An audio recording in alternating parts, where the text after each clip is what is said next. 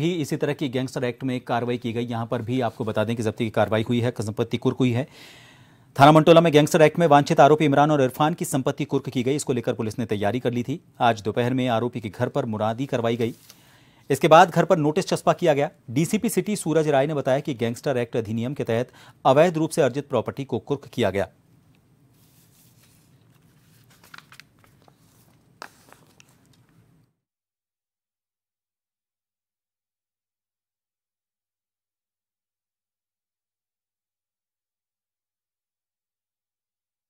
पंजीकृत मुकदमा अपराध संख्या दो सौ निन्यानवे बटे चौबीस अंतर्गत गैंगस्टर एक्ट, जिसमें गैंग लीडर इमरान एवं इसके साथी इरफान के द्वारा मिलकर अवैध रूप से अपराध करके संपत्ति अर्जित की जा रही थी, ऐसा प्रकाश में आया। तो उसी में गैंगस्टर एक्ट के अंतर्गत धारा चौदह एक में आज चार संपत्तियाँ, जिसमें से दो संपत्ति थाना शाहगंज में है एक थाना मंटोला में और एक थाना ताजगंज में है।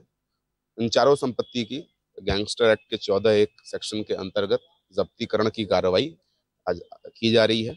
इन चारों संपत्ति का जो मूल्य है, वो लगभग दो करोड़ अस्सी लाख रुपए आंका गया है और इसी कार्रवाई के अंतर्गत पूरी पुलिस फोर्स, पहले शाहगंज में दो मकान है, उसको कुर्क किया गया है और मंटोला में इस मकान की कुर्की के लिए हम सभी यहाँ पर उपस्थित हुए हैं। विधिक प्रक्रिया के द्वारा प्रॉपर मुनाद